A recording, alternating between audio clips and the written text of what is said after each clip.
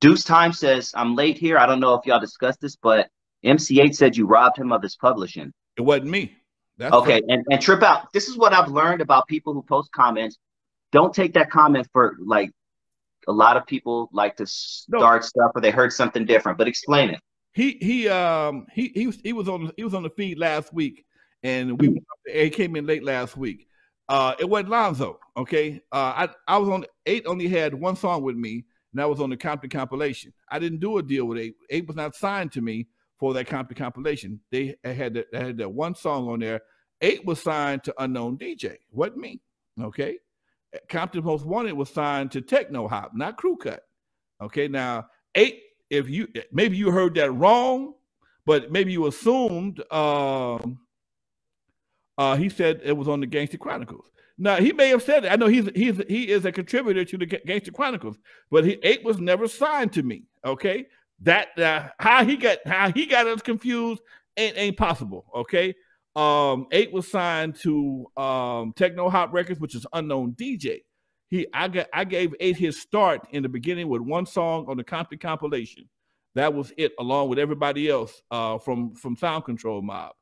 Eiht never signed it. He never when Eiht came to me, they had one song. We did uh This is Compton. And they uh they got a deal with Orpheus, um, which was distributed by MCA, I believe. I'm not sure, but he was never signed to me as an artist. I never signed. I, I discovered uh, CMW. I never signed CMW. They were signed to somebody else. Okay, so uh, we can get that straight. Any any t- um, and I remember watching that specific interview. Actually, now that now that you talk about it, he did say unknown DJ. I didn't I didn't piece it all together. He said unknown DJ for robbing for robbing him and called out called him out on that. I called him out on that. Okay, yeah. Um, he he okay. He was blaming you and unknown was robbing in call. I called him out on that. Okay. Yeah, I never. Um, yeah, okay. It was distributed to EMI, much love and Capitol. Yeah, I didn't. You know, I uh, um, no, dude, I I didn't work with Eiht like that. I didn't produce none of his records. I didn't put Slip produced the stuff. I signed him to. I did one deal. One I did a compilation album, Compton compilation. He was signed to Techno Hop, and uh, he had a deal with Orpheus. Orpheus. Now here's here, now here's the part. Here's the part. Here's the part. Here's the part where the shit starts in the record business. Okay. Now, no matter what happens, Orpheus ripped everybody off. Charles Huggins, the guy that ran Orpheus, went to the penitentiary. Okay, for ripping off his his wife was Melba Moore, the singer Melba Moore. He ripped her off. Okay, he ripped off um, Techno Hop, but Unknown gets blamed for it. Okay, that's how it go, Doc. Okay, real talk. That's real talk. When when here's the part that uh um when in the in the in the in the record game, the brother usually get the blame for what the white people do. Okay. Oh. Oh. The brother get the blame for what the white people do. Oh. Okay. Everybody was mad at Eazy. Okay. NWA was mad at Eazy for a while, mm. but Eazy didn't make the contract. Because see, here's some shit that I know that nobody don't know but Lonzo, because Lonzo was there. When Lonzo, when Eazy came to me, when Eazy came to me, before Eazy went to Jerry Heller, I was Eazy's consultant for Ruthless Records. Look at look at the Ruthless logo. It's made by the same guy that made the Kru-Cut logo, the, te- the Techno Hop logo, everybody's logo. We had one graphic designer out of Compton named Lirad that did everybody's logo. He Talk made, that shit, Lonzo. He made the Ruthless logo. When Eazy needed a lawyer, because I'm the only one that was doing anything, I took him to my lawyer, Kent Klavens in Beverly Hills. I'm sitting right there when Eazy E gave him $600 for the Ruthless contracts. Eazy was shocked because he's like, oh my God, $600. Well, see, what, you understand is I this, you can get various kind of contracts from your lawyer. I said, I, I want a contract. I want to own everything. I want a fair contract. Okay. I want um, a lopsided or whatever the case may be. I always mm. ask for the fair contracts. Okay. I know. See, understand me. You got to understand Lonzo. Okay. I can't speak for nobody else in the game but Lonzo. Okay. Lonzo studio is in his house. I've been living here for 36 years. I've dealt with Crips, Bloods, everybody. I can't afford to rip nobody off. You know where I live at. I can't afford to rip nobody off because you know where I live at. I ain't never, I ain't moved in since, since 1985. I've been here since 1985. Okay, in April. Oh, and actually, actually, actually, wait a minute. I moved here March 21st, 1985. In a few days, it'll be 36 years. Hmm. Okay.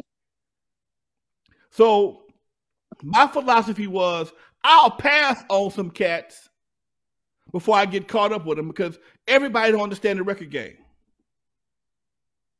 I'll pass on a lot of people because I don't need to I don't need the hassle at my house. I do your demos at my house. I have the meetings at my house. Okay. If I'm dealing with you on anything, everything was done in my house. All these, everything you saw and straight out of Compton up until the time I walked out the studio and said, "No, you got it, Dre." Was that was particular? That was that was uh, depicting my house where I live in today, where this duty, where where we are, where I am right now doing this podcast. So I've always had a thing that if I'm going to work with you, I'm going to treat you as fair as possible. I don't need anybody creeping around my house with no guns and can. I don't need all that. Okay, I got guns. I got shotguns. I don't want to shoot nobody, and I don't want to get shot. Okay? So when things got gangsterish, I decided to leave the music business alone. Simple as that. I did one gangster album, one gangster type album, which was Flaming, and I learned a lesson from that. Okay? I learned a lesson. I decided I'm gonna leave this gangster shit alone because I don't want to hurt nobody. I ain't trying to get hurt. Not that I'm a punk. I just got other shit, to, uh, other shit I got bigger fish to fry. Okay. And that's always been my philosophy. Okay. That's always been my philosophy. Okay. So when I do business with somebody, I'm gonna do as straight up as possible. And if you don't understand it, I'm gonna try and explain it to you. I've been explaining the record business to niggas for night for, for 20 for 35 fucking years, okay? Now, if you don't listen, that ain't me, okay? If you don't listen, that ain't on me. And Cats that asked me, I will tell you because somebody told me. But people always, me and unknown is still tight to this day. We tight right to this day. Okay. Yeah, I saw him. That's not not too long ago over there. Um, what happened with Eiht them, I don't even know because I kind of left that alone. They gave me a little finder's fee, and I wish them luck. I went to their video. I went to their video shoots. I mean, the uh, photo shoots. We shot most of the stuff you saw at, at um the first this first um MC Eiht uh first uh um uh Most Wanted uh photo shoot was done at the at the Hawthorne Mall right before it closed. Well, it was closed already. We we snuck up in there and took pictures and stuff. But Mike T ain't mad at me. Chill ain't mad at me. Okay, they was all in the group. They all they all had issues with Eiht at one time. They mad at Lonzo. Chill been on my show. Mike T usually ch- chime in from time to time. So, you know, but people always get me an unknown kind of confused. We've been tight for shit since Eve after dark. In fact, let's get this straight out right now. On one of the documentaries, um, what's the guy's name? He's a lawyer who's a lawyer for Dick Griffey, says that Suge beat up a member of the Wrecking Crew. Suge ain't beat up no member for the Wrecking Crew. Okay? It was unknown he had a problem. They always got us confused. They always got us twisted up. Okay? Him and unknown had a problem. What Lonzo? I didn't go around death row like that. I didn't, I didn't, all money ain't good money for me. I'm sorry, folks. That's been my philosophy all my life. I saw that on handwriting on the wall. Yeah, it was a lot of money, but I don't need the headache. I like sleeping at night. I don't like living living looking over my shoulder. I go wherever I want. The other day, tell you a true story. Happened the other day. Uh, um, I, am gonna tell you this happened the other day. I'm, I'm at Denny's. over in uh, over on uh, Imperial and Crenshaw. Me and one of my folks having breakfast, and um, this dude walked up to this dude stepped. Hey, hey, hey, hey, excuse me, sir. And I could tell this cat he was he was in the life. Okay, blue tattoos all over his face, blue sweatsuit, you know, and he was one of them dudes. Okay, he said, "Man, I know you, man. You look familiar. You look familiar, dude." I, I did you want, want you be on Vlad or something? I said, yeah, man, that's me. Uh, Wrecking Crew, right? Yeah, yeah. And I could tell he was from the other side, or he was he was, you know, from the blue team. Okay, yeah, man. Yeah, but I my girl, I knew, I recognize you. That right there, for me, lets me know I don't ain't no ain't nobody checking for me like that. I've been I've been the same way all my life. I'm I'm I've been a, I've been a grown man since the, since the 80s. Okay, if I was like that Niggas would have been got with me. I ain't, I, I ain't hard to find. I run nightclubs. I'm, I'm out at two or three o'clock in the morning. I was. So when I made a I made a conscious decision not to do certain things. Okay. I don't like nothing on my shoulder. That man walked up to me. He he he was he was very humble. He was very polite. Now, according to his face, where he come from, if I saw him someplace else, I might not have felt that comfortable talking to him because you could tell, you know, he he you know he been to jail or something. I've been to a hell of a tattoo artist, okay. But on the same token, I'm in San Diego. Uh, Sunday, I took the train to San Diego. Took had to do a show out there, just hanging out with a buddy of mine doing a DJ show, and Amtrak was shut down from San Diego to Irvine, so we had to catch a bus, one of them luxury buses from Irvine, from San Diego to Irvine. And I'm standing in line. I got my mask pulled down because my beard was itching. And home, this white big white dude, big white boy. Look, Lonzo, is that Lonzo? Lonzo Williams? I said, yeah, what's up, man? Oh man, oh man, oh man, God damn, Mr. Godfather, West Coast hip. Oh man, I'm embarrassed as shit. I'm embarrassed. I'm the only black person on the damn bus. Big white boy is giving me all this praise. I'm, I'm walking here. Thank you, man. Much love. He giving me dap. I gave him dap. Whatever the case may be. He wanted the picture, but he he had to load the bus up. But he was like, "Oh man, it's hip hop royalty." Blah blah blah. So, and I said I'll just say this. I missed a lot of money. I missed. I may have missed a lot of money in my life, so I can sleep at night. Okay. I may have missed a lot of money so I can sleep and go where the fuck I want to go when I want to go. Yeah. Okay. That's so important, dog. Okay. Well, I could get Mike T in the house. What's up, Mike T? Now, Mike T, Mike T, in in uh Mike T will tell you, um, oh, oh, Mike Day, your birthday, Mike T. Happy birthday, man. Happy birthday, Mike T. If that, uh, yeah, happy old, happy old day to me, Mike T. What's up, Mike? Hey, man, look here, Mike. Uh, Mike T was a member of um, CMW, a major, a major player, DJ for for CM Compton's Most Wanted. Now, Mike, uh, one of the guys in the chat room was saying that I took Eighth Publishing. Now, as you very well know, I was never, y'all was never signed to me, okay? And I'm just trying to explain how I how I get down I, I, how I get out how I've been getting out. And this is why everybody that ever worked with me will still deal with me uh, for the most part. Okay. All the guys that ever came through here, whether it was Crips, Bloods, whatever the case may be, they all got love for me. Because I want, you know, because at that time, they may not, may not have understood what I was trying to do, but as they matured, oh, they, oh shit, I see what you were talking about, Lonzo. Now that shit makes sense. Okay. Yep. Uh, I was at Norms on Imperial and Crenshaw. Yep, yes, sir, D Blue. Um, and I never, I, I never discriminated. If you can't, if you had talent, okay. Oh, I didn't say it. Oh, A said no, no, no, no, no. I understand, bro. I understand. I understand what you said. I'm not accusing you of saying. I'm just saying you. I, I remember you. You was you was talking about it last week, and I, uh, I don't know how I got into that situation right there because I didn't do that. I didn't take no publishing from Eiht. I've had people, I've had art come to me on multiple occasions and tell me, Lonzo, man, put me on, dude. I give you all my publishing right now, man. I got a hundred songs. I'll give you all my publishing. Just put me on. Just put me on. And beg me, beg me. First of all, if you're gonna give me a hundred, uh, here, here was Mike T right here. No, Lonzo never gave a contract to in, no one. Uh, unknown had the control of Ace Publishing because he signed to Eiht when Eiht was under age at the time. Bam, Mike T. Much love. Thank you very much, sir. Um, but I've had artists offer me their publishing um, to put them on. 100 songs, man. I got 100 songs right now. First of all, if you got 100 songs, you're going to give away the publishing, you probably got 100 tracks of bullshit, first of all. Okay. you got 100 tracks of bullshit. Right.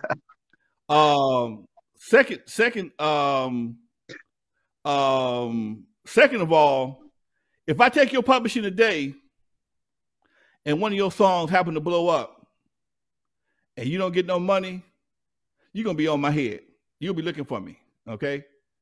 Now, they it happens all the time. I know guys that are, that gangsters that have been ripped off for hundreds of thousands in publishing money and didn't do a damn thing about it. Okay. Mm-hmm. I've, I've had people, guys change the writers on the song so that the manager or somebody, the so-called manager, the writers credits and the publishing. I probably would catch a case for that one right there. Okay. But I would I didn't I won't do it to nobody because I understand you stupid right now. Okay. And once you learn the game, you're gonna tell people how I took advantage of you. I don't want to do that. I don't want to be in that position. Okay. Like I said before, I, I do what I do because I can do it and not look over my shoulder. I don't. My reputation means a lot to me, man. Mike T, one of my boys, you know, Mike T come by the house. We gonna go fishing one of these goddamn days. Mike T got a big old boat, and you know, and it was slipped in when I did the reunion. Everybody glad to hang out, man. You know that means more to me than uh uh than, than stealing these cats publishing. And that come on, man, because it happened to me, and I wouldn't do that to nobody else. And you know that's just how I, I know some. Oh man, Lonzo, nah, dude, that's just how that's how I am, man. That I I could have ripped off a whole lot of people and been going out my house by now. Okay, but man, I don't need I don't need the headache. I don't need the headache. Mm. I don't headache. Damn. That's just me. This has been my favorite show in a long time, Lonzo. I'm keeping it real. I'm glad you cleared that up. And shout out to Mike T for coming on and happy birthday to you. Yeah, happy birthday, Playboy. Happy birthday. See, all, yeah, see, man. See, when, when you got Crips and Bloods at your house, at your house, and, and these these these cats was active back then. They these niggas are retired now. they got old. these niggas was reti- they retired. Um, they, they they retired now. Back then, they was full of eight ball and and uh, Hennessy, and it could go down at any given moment. I had to be a so I had to be the sober one in the room to make sure everybody was straight. And we never had we. I've been here. I, I had all these cats in the house, man. We never had an incident, dude. Never, never had a fight. Had a couple of disagreements, but we never. I, I they know I wouldn't tolerate that. And it, it, when you came over here, it was about getting your money. It was about trying to learn the game. Now, if you didn't learn the game uh, fast enough to get get yourself together, I can't help you with that one. Mike T says Lonzo gave me the biggest biggest chance to learn engineering in the studio when it was all when I was all I had was a two SP12 drum machine and uh no, no knowledge. knowledge of how to run a studio. That's why I always find things uh to give back to him. And that's true. That's true. That's dope, man. If, if Mike was a part of that, Mike was a part. It's still a, he's a part of the CMW. If he felt that I ripped off Eiht or anybody else, he would probably be salty toward me too. Chill was a part. Chill, he was other half. Chill, ain't, ain't no salt in that game.